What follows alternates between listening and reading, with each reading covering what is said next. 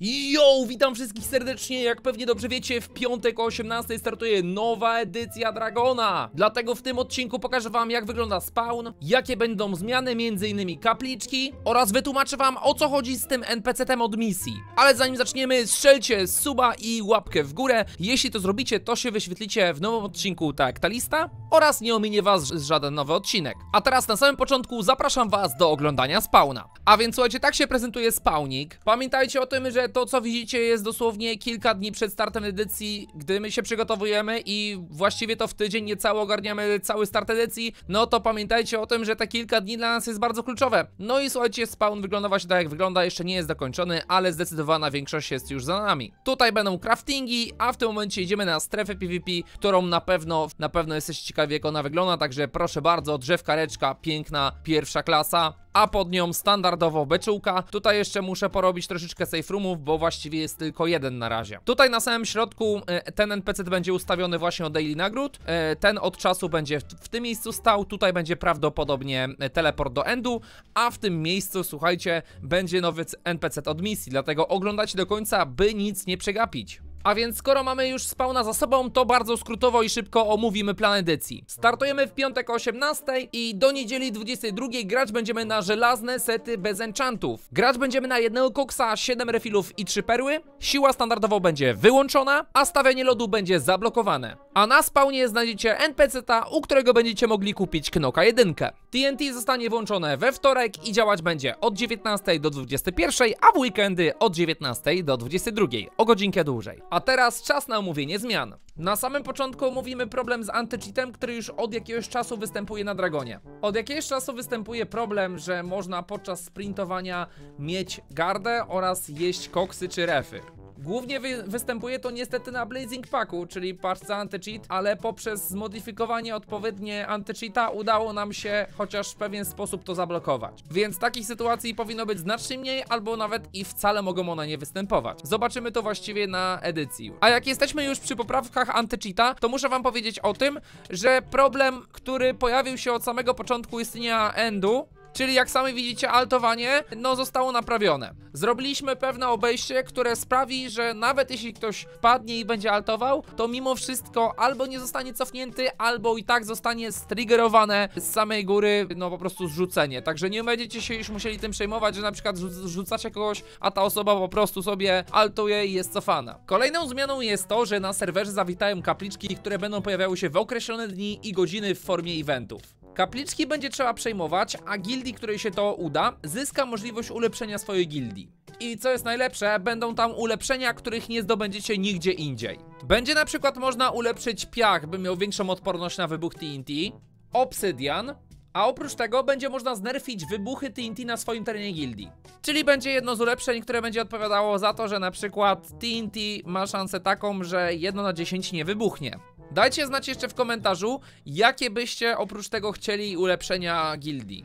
Myśleliśmy jeszcze o tym, żeby można było dodatkowo sobie ulepszyć e, serce gildyjne, by na przykład miało o 10, 20, 30, 40 albo nawet i 50% więcej HP. Oprócz tego, co ulepszamy z emeraldy. Dajcie znać, co o tym sądzicie.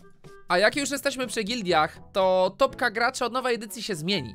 Ponieważ powraca stary, lubiany przez większość graczy ranking, który będzie ogromny. A teraz omówimy chyba największą i najważniejszą zmianę, która została wprowadzona w ciągu dobrych kilku miesięcy. Usiądźcie wygodnie, bo naprawdę będzie się działo. Uwaga! Gdy klikniecie prawym na tego NPC-ta albo, albo wpiszecie komendę misję, to wyświetli wam się takie GUI. W tym miejscu jest napisane ile punktów posiadacie i jest to właściwie yy, przycisk odpowiadający za dwie funkcje. Gdy wykonacie wszystkie te misje, tutaj na przykład mam do wykonania y, agresor, czyli muszę zabić trzech graczy na wrogim terenie gildii oraz y, maraton, czyli muszę przebiec 2400 kratek.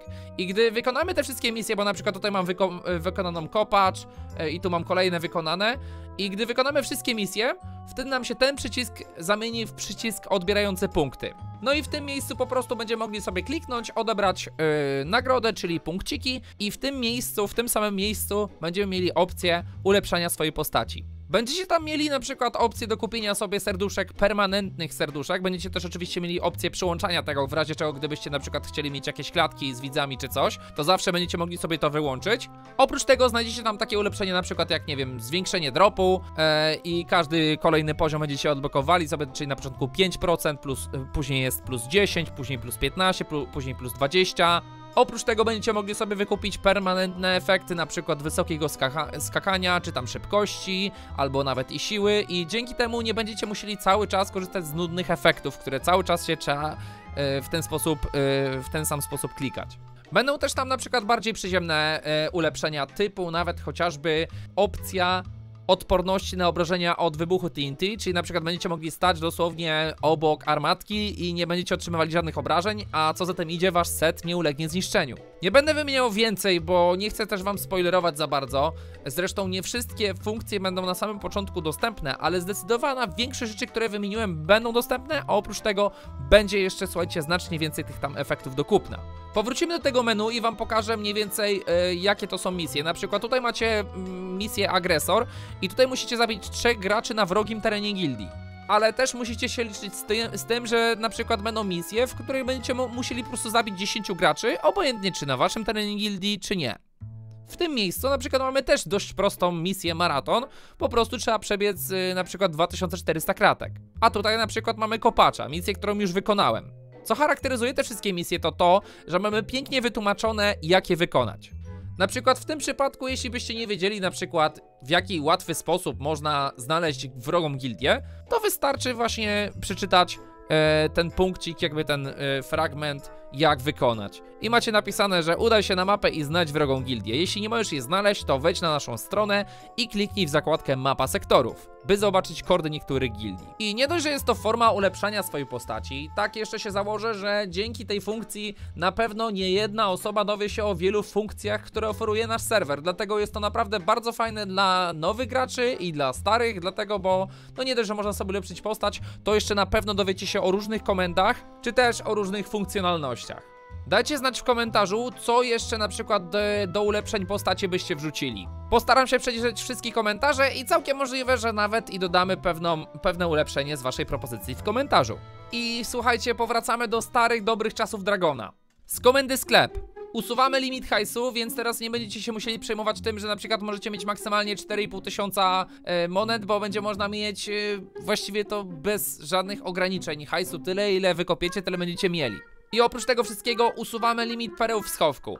A emeraldów, słuchajcie, niestety nie możemy usunąć y, z limitów tutaj w schowku, ponieważ gdybyśmy je usunęli, no to ludzie zamiast magazynowania tego w skrzynkach, czy tam w jakichś innych miejscach w gildii, no to po prostu by wszystko kitrali do schowka, więc mieliby tutaj multum, multum, multum tych y, bloków szmaragdowych i no po prostu z wbity nie zyskiwałoby się w ogóle szmaragdów. Dlatego one muszą zostać, ale słuchajcie, perełki, e, limit perełek jest usuwany. No i oprócz tego wszystkiego, do NPC-ta, u którego wymienimy smocze jaja, zostały dodane dodatkowe itemki, a do dropu z premium case'ów zostały dodane smocze jaja. To już będzie koniec odcinka. Dziękuję wam za oglądanie, zostawcie łapeczkę w górę i napiszcie w komentarzu, która wam się zmiana najbardziej podoba oraz której według was zabrakło i powinniśmy ją dodać jak najszybciej.